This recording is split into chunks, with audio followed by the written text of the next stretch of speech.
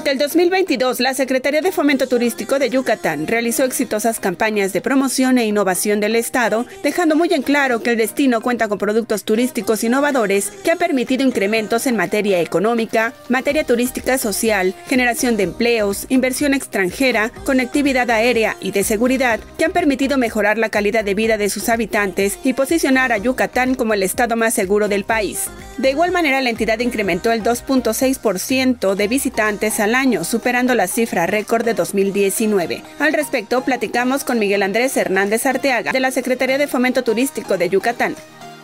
Mira, estamos muy contentos, o sea, todo, como bien le indicas, todo producto, todo destino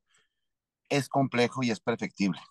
Sin embargo, nosotros estamos muy contentos porque nuestros crecimientos en comparación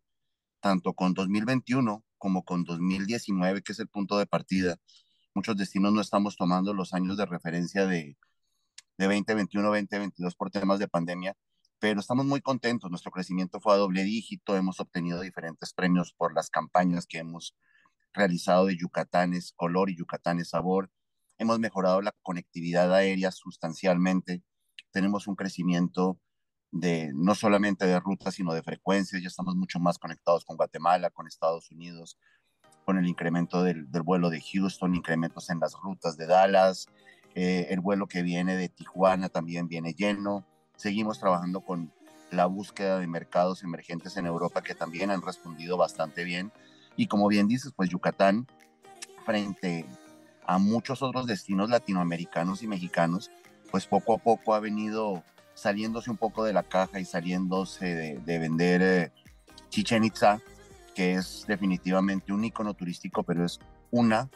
de las 19 zonas arqueológicas que tenemos abiertas al público. Y aparte, pues hay que sumar todo este producto de romance con las haciendas, toda esta cantidad de crecimiento hotelero en Mérida, en nuestros pueblos mágicos como Izamal, como Maní, como Cisal, en nuestras propias playas, que tenemos casi 400 kilómetros de playa, y todo esto nos ha llevado a que el año pasado por primera vez batimos un récord muy interesante, el movimiento de 3 millones de pasajeros y ya contamos con más de 2 millones de, y medio de pasajeros con pernocta. Entonces, estamos contentos, estamos ampliando mucho el producto turístico, estamos saliéndonos un poquito del, del concepto tradicional y a través de, de la campaña que te menciono de, de Yucatán es sabor, pues hemos puesto en los ojos de México y de Latinoamérica y de países muy importantes para nosotros como Estados Unidos y Canadá,